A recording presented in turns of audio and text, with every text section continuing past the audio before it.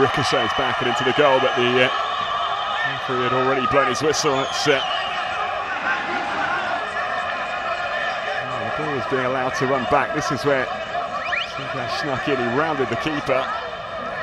And, uh, it was well, it's Abdullah Musa who was, uh, in fact, given a red card. So there we go.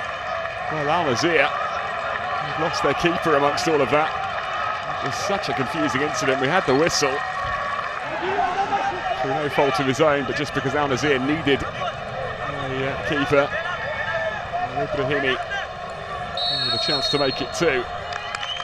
Well, there we go. So, out of fairness, he's passed it back, and that is sporting from Sepahan. Uh, said that it was a strange incident. YouTube.com forward slash goal is full of stuff like this and proper football too. To make sure you don't miss out, just hit the subscribe button. It really is that simple.